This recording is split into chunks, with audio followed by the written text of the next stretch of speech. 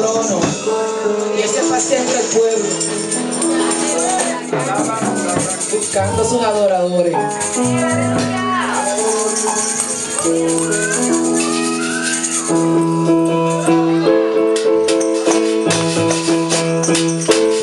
Cuando el